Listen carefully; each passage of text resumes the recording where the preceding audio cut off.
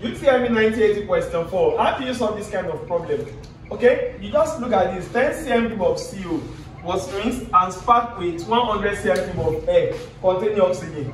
The secret of this question is that you must know that you want to spark CO with oxygen and not air. But note that oxygen is present in the 100 cm of air. So therefore, I am reacting it with oxygen and the product I will be getting will be CO2. Let's balance the equation. 2 should be here, 2 should be here, the equation is balanced.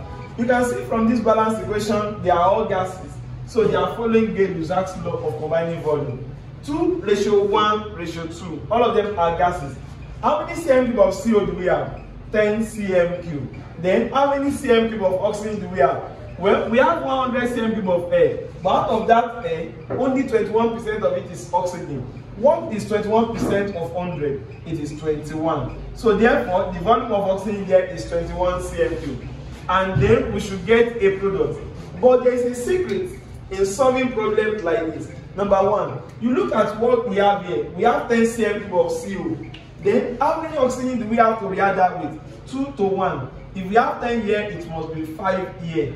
But what about if I think of reacting 21%? How many will I need here? 10.5. But I don't have up to 10.5 here, so it's not possible to react this 21. So what is possible is to react all the 10 cm cube here with 5 cm cube out of the 21 cm cube that we have here and it's going to give us a product of 10 cm cube if we are correct we know 2 1 2 10 5 10 because if you look for the ratio it will give you 2 1 and 2 so therefore we can now see that this is the amount that we use. So do we have any co2 left?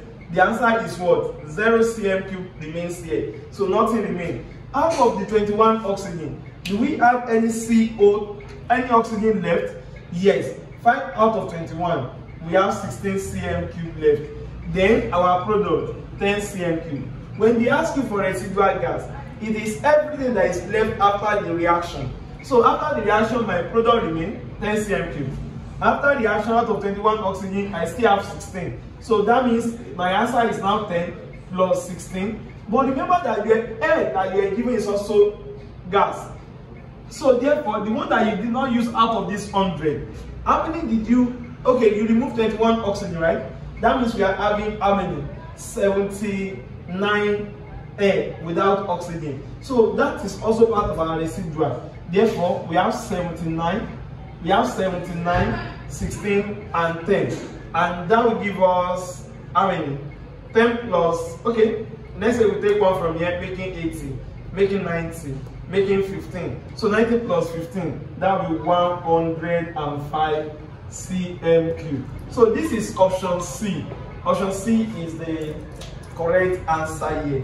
So you can try to subscribe to our channel and follow us for more reasonable way of solving UTME examination.